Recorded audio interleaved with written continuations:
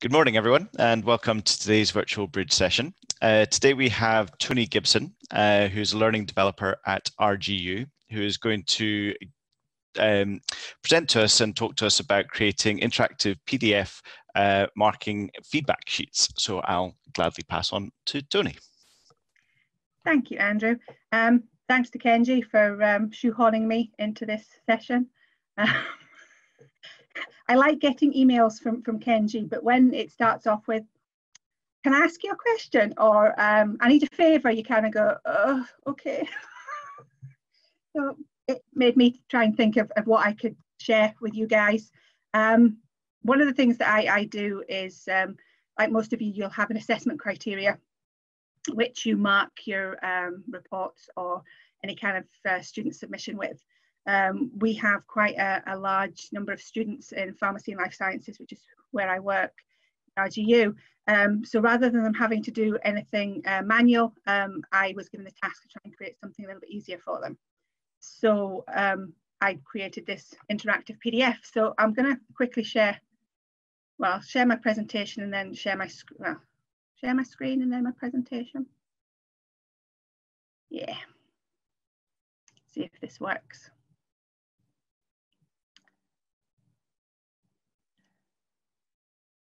And Toni, would you like us just to jump in with any questions we have, or do you want us to wait to the end? What would you prefer? Um, if you want, if you can wait, um, jump in when you want. Um, I mean, I'll, I'll be going through, there's a few, basically it's a small presentation and then it's more of a, I'm going to show you um, what I, um, why is what's, um, show you, basically it's going to be kind of, I'm going to basically show you how I create.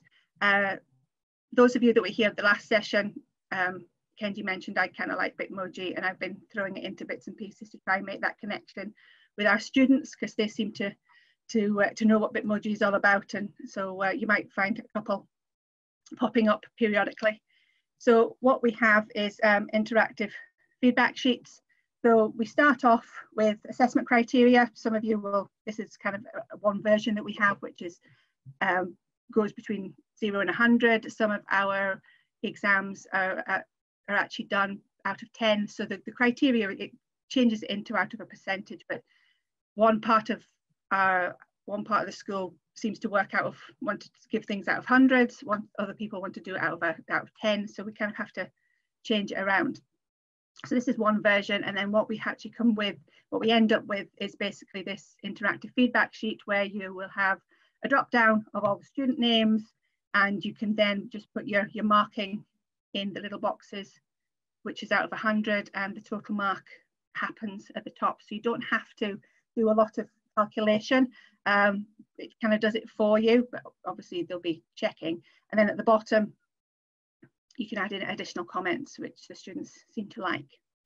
So from there, um, so what do I normally use? I use Adobe Acrobat Pro. Um, I have an Excel sheet which has my macro in it, and then I just need a list of students. So basically I'm ready. So I have the um, PDF document that I created, and then I have my list of student names. As you can see, you know, I, I kind of, I'm a bit of a child.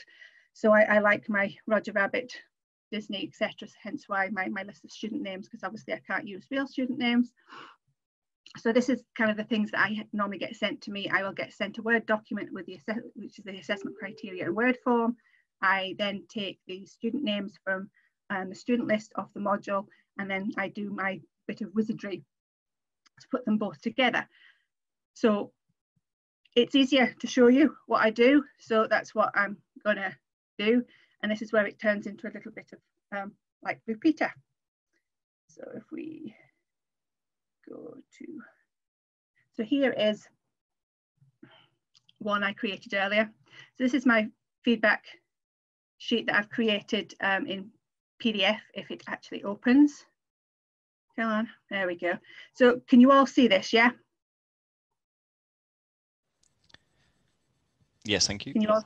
Yeah, perfect. So this is what I initially created from a Word document. And if you've got Adobe um, Pro, you can actually come down here and you can actually prepare the form, which is where a lot of the, the wizardry is done. So each it's just basically your section. So you set up a drop down box, you've got a, name, um, an area for a name, and then the um, criteria of how it's created is, is put in the total mark box. These are just normal boxes that you just set to only take a number. I normally restrict it so they can't give more than 100. Um, and if it's out of 10, it doesn't go above 10. And then obviously at the bottom here, you can add in additional feedback. This box is also set up to allow more than the, the, the words that would fit in this box. It um, What you do is you get a little wee plus sign down the bottom, which allows the student to expand it.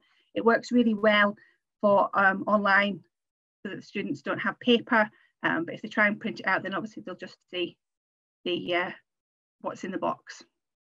So this is, this out the way. So this is basically what the form is. And when you have a drop down menu, at the moment there's nothing in it. Um, it's just set for ready, ready for the um, macro to, to happen. So the next thing I do is I will then open up my spreadsheet, which has a nice JavaScript into it.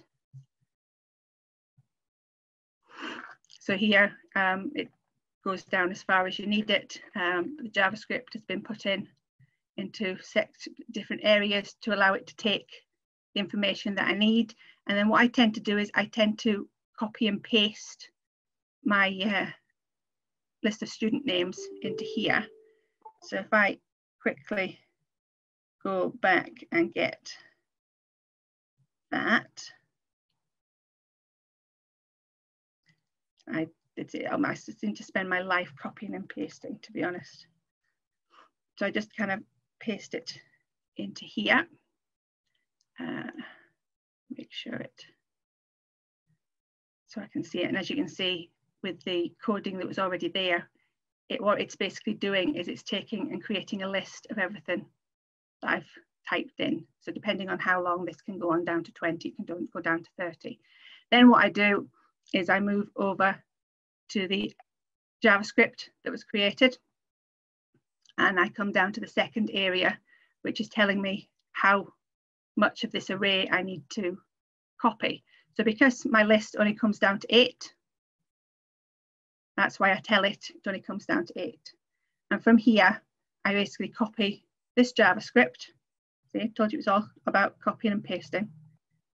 And I go back to my PDF. In here, I'm looking for the action wizard, which appears at the top.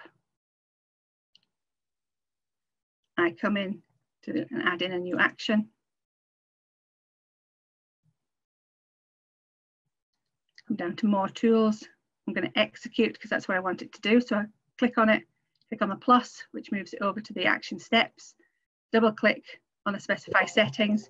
And this is again where I paste in my JavaScript. Now, one thing to remember is always come and remove the comma at the bottom, because if you don't, then the JavaScript will throw up an error because it's looking for another item. Um, and then you click OK. I normally take the prompt off because I don't need it to come up and tell me that I need to click again, and then it saves it. So um, the name, it then disappears. And if you look on the right hand side in the action list, you've got the action sitting there. So at the moment, there is nothing in the drop down list. But if I double click and click on start, then the next time I look by magic, the list is there. And from here, what I tend to do is I tend to then go and save it as a reader extended PDF with the tools, which allows it to fill in and, and save, etc., which means you then have a live version which nobody can edit. I have some members of staff, I don't know about you, but I have some members of staff that like to go in and play and work out things and work how out how things work, which I have no issue with. But when it's something that's for feedback and it's something for assessment, then it can sometimes they sometimes send it back to me and go, I've, I've played with this and I don't know what I've done. And it's easier for me just to go back to the um, the main, the sort of like the um, the template and, and make the changes so it comes back. That's why I always save it as an extended version, and that's what I send to staff to be able to use. And then all they need to do is they can just come in and choose the student name, add in their name, the date that they're marking it, and then add in the, the marks for whatever the three section are and it gives me um, the, the percentage of the total mark and they can save it with a student name and then they save that as a flat PDF, which is uh, what I normally ask the students, to, the staff to do, is kind of save it as if they're going to print it, which what it does is it flattens the PDF, so it means that the students can't make any edits to it. As we all know, students can be a bit ingenious at times and um, go in and want to make changes, especially if they think that they haven't been given the scores that they're expecting. Sorry, my screen's just gone black. Um, so then basically what we're left with is the final object, which is your list of students. You've then got your definitions down the side, which you can add code, add the, your, uh, your marks out of. It calculates it, um, and that's basically a quick run through of how I do my feedback sheets. Thank you very much. Um, that was great. Um, open up to the, the floor for any questions. So may I ask one? Yeah. That was really good. Thank you so much. So what led you to use the PDF? Were you using them already? Were you comfortable with them or did you yeah. do some investigation of other tools? We, we, we did some investigation of other tools, um, but at the time we wanted something that um, was quick and easy for the staff to use. Um, as we all know, PDF is the easiest thing that opens up on any browser, any device. Um, it's quite accessible, you know, so it ticked all the right boxes.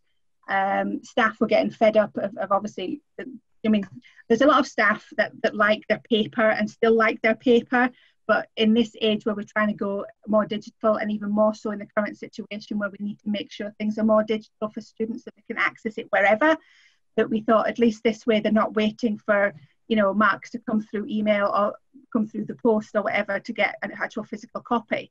So we, we did a little bit of testing um, and we thought that the Adobe was, well, it was quite resilient anyway. Um, I did a few tests and it worked really well. Um, I mean, I've actually moved on from this now that I actually can create individual spreadsheets because I've created an actually macro using Excel um, that actually basically opens up a PDF, inputs the name, um, you know the name the student name and then saves it anyway. So so i have that. So i've moved on. Just basically because staff were getting fed up if they've got 130 students then got to go through that process 130 times. Um, whereas this way they're basically getting 130 documents that find their student open it and fill it in. Um, but i just thought this was i, I kind of like people to get to, to start at one step and then move on rather than going straight into um, you know the, the, the individual because it depends on, on what people want. Um, but you know it's i'm quite happy to share my practice if anybody wanted it or was interested in it. It's just i kind of like to find an easy way to do things. Um, mm-hmm. a lot of my work is, is very much laborious and it's the same thing all the time. Um, and, and creating these, these pdfs take a bit take me to be honest they take me about five minutes what you saw me do is, is basically the length of time it takes me to do them now because I know what I'm doing. Um, I actually, one of my academics asked me to write out instructions and it ended up about 20 pages long with everything I do. And she went, okay, no, I think I'll leave you to do it. um, but yeah, so, so we just thought PDF was, was the easiest. It opened up on everything. Um, the students seemed to like it. Um, and then just for security, we asked them to kind of use the the print the print PDF because it then flattens it and it means that students can't go in and change their marks. Although if they know what they're doing, anybody can change anything anyway. Um, but then that would be academic misconduct. But students tend to like to push themselves a little bit. But yeah, that was the long-winded answer for why we chose Adobe. That's brilliant. Thank you. Jason. Yeah, any plans to sort of roll out further and centralize it? Obviously, there'd be a step further of well, um, creating this for every student in the university and do, linking it in with the, indeed the student record system, so that uh, yes. and so on, bells and whistles, perhaps. It, it, it is. I mean, it, it's something that um, I, I I'm quite. I don't tend to kind of like shout what I can do, as, as Kenji will be aware of. Um, going by the last session, I, am quite, I, I, kind of, I'm, I'm quite aware of my abilities. Um, and I don't often shout what I can do and what I've created. Uh, we, I got a new line manager, and she's very much of no, you need to showcase this, and I'm like, surely people know how to do this. Um, but often I get told, well, actually, no, people have not thought about this, and yeah, I do because I'm that's where my brain works. Um, so although I might think it's quite simple, a lot of people kind of go, actually, what you've just done is really it takes a lot of work out of what we do. So the idea, so I have approached our central services, um, Andrew will know them Delta, um, and I have mentioned to them, and they've not really said anything, whether it's too much work or whether they think I'm trying to take over, which is the normal thing. Uh, that not that I'm trying to take over at all, but um, but yeah. So the idea initially would be that this could be rolled out across the schools because I think it could be picked up a lot of places. And I think the student, well, well our students seem to like it because they can go onto Moodle, they can download it, they've got it. And then if they need to show it, it's a document that they can reuse and, and, and move on. It's quite a portable document. So Actually, going back in my experience, it does build on a whole load of things. So, um, back many years ago, that's uh, when I was having to be head of a, a department. We moved because we were. All, I was in charge of some big classes, and the number of times I was writing the same old thing again on assessment scripts. So we moved to a tick box uh, checklist yeah. for feedback. But and I can see how this could take it further. Do you have any plans for actually developing it? For, for myself, one thing that, that, that appeals to me is uh, um, is the, the feedback that goes to students is often quite complex and obviously the marking criteria there uh, cover a whole load of situations but um, one thing that we know from good assessment practice is that students have a limited ability and capability to make change so getting letting them know the priority the thing that will make the biggest change to their mark improvement in their mark um, and I can see how that can be uh, uh almost automated in a way to, uh, as yeah. part of this. Uh, do you have any particular development plans? Well, the, the one that I showcased you is the one that we use that uses we use a little bit more in undergrad because it actually shows the assessment criteria and most students really are just looking at their mark rather than anything else. Um, we use originally this was developed for postgrad because we have a lot of postgrad students and their feedback forms are slightly different where they still have the assessment criteria but we don't actually edit that. We actually have um, a document where it has it still has the criteria, it still has the number, um, you know, the mark out of 10, but then it has a feedback for each criteria. Um, and originally it was set up where it was just blank and staff would just go in and they would put in their individual comments for those students, which postgrad students really liked. Um, we've developed it further last semester where now everybody had the same, was normally putting back the same amount of feedback, the same writing exactly the same thing for most of the students, especially around about the references. It was all more as a case of make sure you check your references, either choose between, you know, Vancouver or, um, you know, make, make sure that it, it's, it's, it's the same. So what we now do is the feedback sheet that goes out has pre-generated comments that is normally always there. And it means that the staff can just open it up and go, well, that doesn't matter, that doesn't matter, that does, that does. And then I'll add in my own bit um, and then every at the end of every semester, the module team will meet and they'll look at the assess, you know, look at the feedback sheet that come back and go right. What else can we add in um, that is normally always said?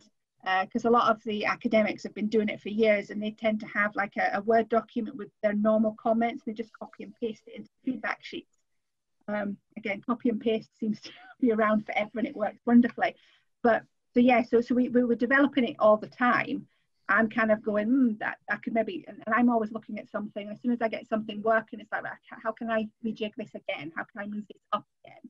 Um, which is how I got onto creating the individual um, feedback sheets using, of all things, um, Excel and macros and JavaScript. And yeah, something quite easy, but does a quite a laborious job. And the staff seem to love it because then they don't have to resave the documents they just go in and look for their student um, and, and answer it. And with postgrad, we've normally got about 130 students. So I tend to split it into either three or four. So basically the markers are just getting their students.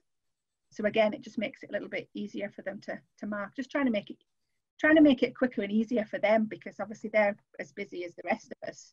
Um, and it's all quite time laborious. But yeah, I'm always always trying to make things slightly easier and better. James, did you have a question? Yeah, Toni, thanks so much for that. That was brilliant. Um, I think what you've done is incredible.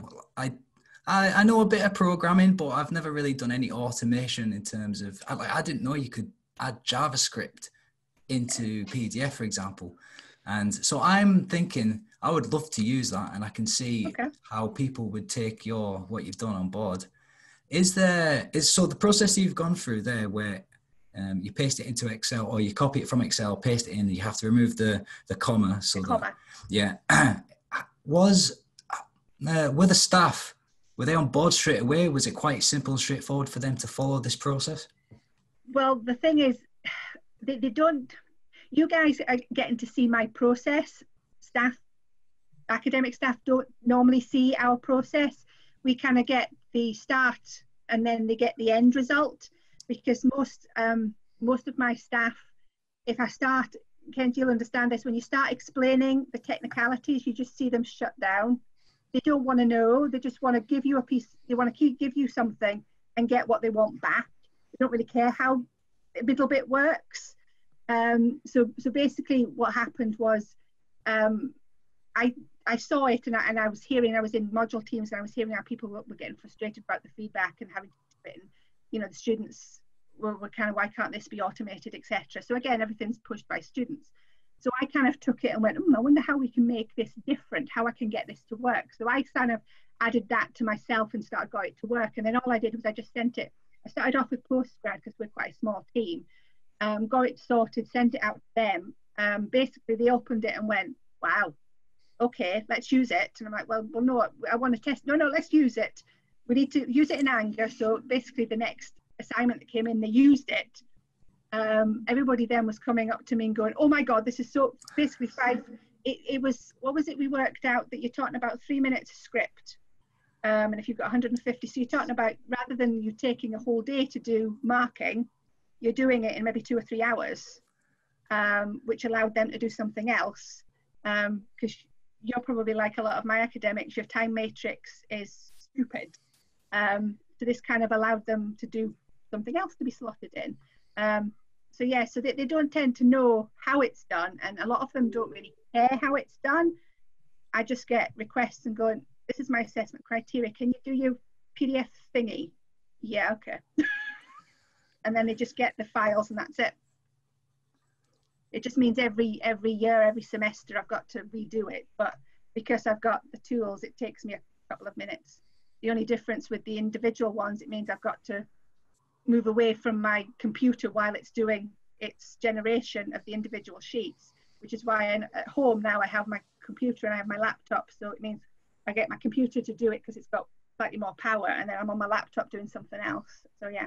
Is there any way of um, developing it into some kind of app so you don't have to do that? You can just give it to the lecturers and they can do that themselves. It probably is, yeah. Oh, that that would be the ultimate that you can just feed something in and get something out. Um, but yeah, it's it's it's it's finding the time to be able to develop that. Mm. but yeah, it's it's it's on my list um, of trying to make an app out of something that's automated. Excellent. Well, good work. Thanks for that. Kenji. um, so I, I I like it. I, I didn't realize that you could put JavaScript into to PDFs. That's that's a completely new thing. Send you something. I, I oh, don't wow. know. believe, believe me, I I just I've practiced this like unsurprised face. I actually learn things all the time, but I just I've over time I've just like tried to look a bit smarter than I actually am. Um, so one of the interesting thing is that um, for me, so that process has come about because feedback sheets traditionally within a university setting, whether they're kind of cover sheets or, or feedback sheets, that's a process that you add on to an assignment and give back to students. So in in pro- probably in college context, if you have enough time to write out a considerable amount of feedback, that there's a move towards making that all digital and online. But your process is interesting because it does consider the potential for doing that offline. Because once you've got the PDF and once you've got the student assignments, essentially you don't need an internet connection. And and although we all the solutions that you see sort of coming forward tend to sort of assume that everybody has a, an internet connection that's continuously reliable. And one of the things that we discovered during lockdown that although students significantly had in, internet and connectivity issues. There were a small group of lecturers that equally had connectivity issues, especially living in some remote areas. So it's, it's interesting that your solution is essentially an offline solution um, that can work in, in, in a few sort of flexible ways. I was just interested in how about if I access the PDF on like a tablet? Um, can I, I can still fill it out, I'm, I'm assuming. Yep. Um, and stuff like that.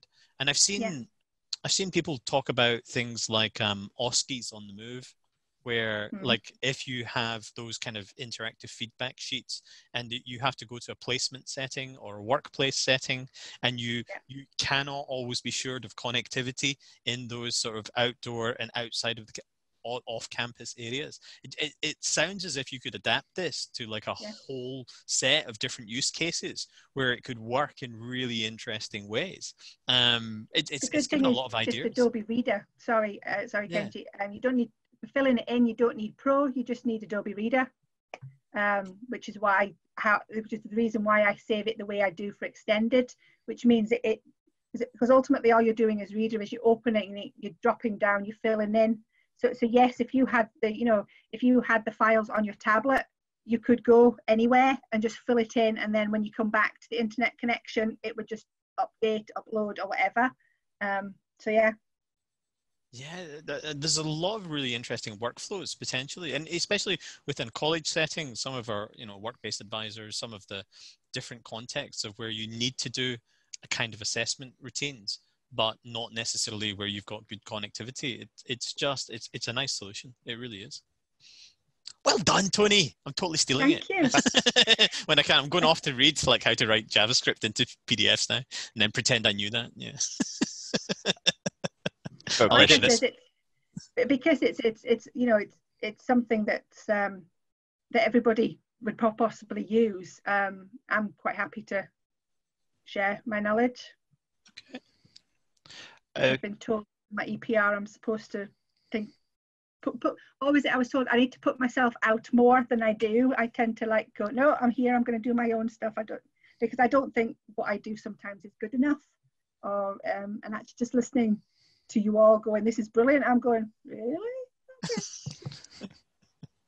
Okay. are, are, are you up for sharing like the Excel sheet and um, stuff like that? That that's that's awesome. That's brilliant.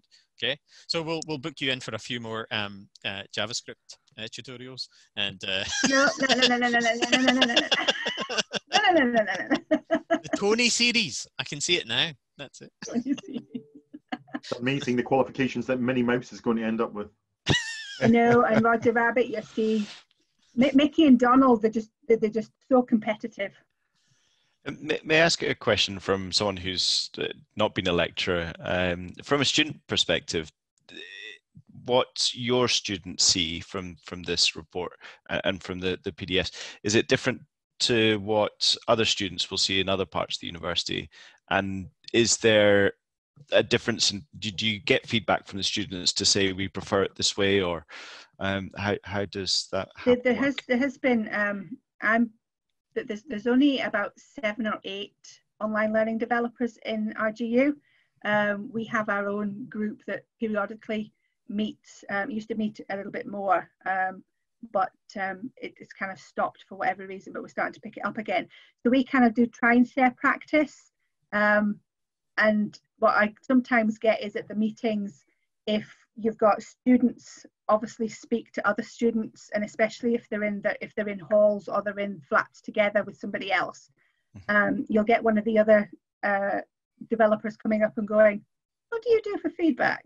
Well we do various things. Why? And it, it turns out that one of you know one of sort of my students would have shown their feedback to their friend and gone we get nothing like that. That would be so, and and, it, and that's as I said, students tend to get a lot of things done because they turn around and go, I'm wanting it like this. Yep. Um, so yeah, that's um, it's not been taken up by the entire, but there's one or two um, of my colleagues that have asked how I do it, and um, and, I think I've adopted it. But the good thing is it doesn't have to be how. I mean that my process there could actually be anything. It doesn't have to be names. It could be you could have any document. It's not just a feedback sheet. So you know you could actually I, I just in my head just now I could see things that it could it could work in an administrative point of view. Um, you know if you had a list of names or a list of something to go into a document that's the same, it would basically work out the same.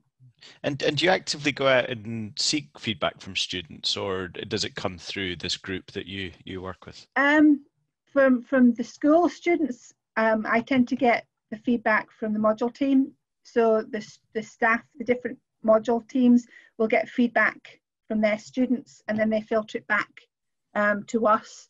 Uh, unless I've um, and you know, I mean, there's a lot of students I've maybe known for the four years that they've been there, and they'll come up and go, you know, at the beginning because we've used this for a couple of years now. So right at the beginning, there was a, quite a few of the students that were coming up and going, the feedback sheet we love because the, the the staff are quite, you know, they're quite forthcoming and turn around and go, well, you know, we didn't do this, Toni did it, which is kind of quite nice because um, there is some members of staff that tend to make out that they created it rather than the team, but never and it's the way it should be. it, it, it's nice to get credit, and I think that's the one thing that's come out of the lockdown is that um, the school exec actually now kind of understand what we do because the exams and a lot of the stuff that needed to be done wouldn't have got done without us really. Um, and the staff are suddenly realizing actually it's hard to do our job. Because they're having to do it themselves and they can't just come into our office and go Toni can you do this? Like I can't, I'm nowhere near you, you need to do this, you need to follow these instructions. So there's kind of, you know, as, as I think, you know, Kenji and I were talking a couple of days ago, it's it's nice to see that people are finally realizing that what we do is kind of hard. It's not simple, but we make it look simple. So, Uns- yeah. Unsung heroes. Yeah. Yeah, this is the first yep. year I got uh, um, I got an award from that was actually came from the students. It was it was Love the Star Awards. It was the first year I've been I've been at university for 13 years. First year I've got a Star Award that basically has come from the students. It was just I think I burst out in tears when I found out, just because it actually makes you feel okay, okay. The Brilliant. students appreciate what we do, which is the ultimate thing, really. So, yeah. And on that very light-hearted note, we're coming up to the half-hour point, so probably a good place for us to um, stop the recording. Um, but if everyone wants to stay on, we can continue the conversation beyond. So I'll I'll do a quick pause for Kenji's editing purposes. Thank you very much, everyone, for joining this virtual session, and have a great weekend. Thank you.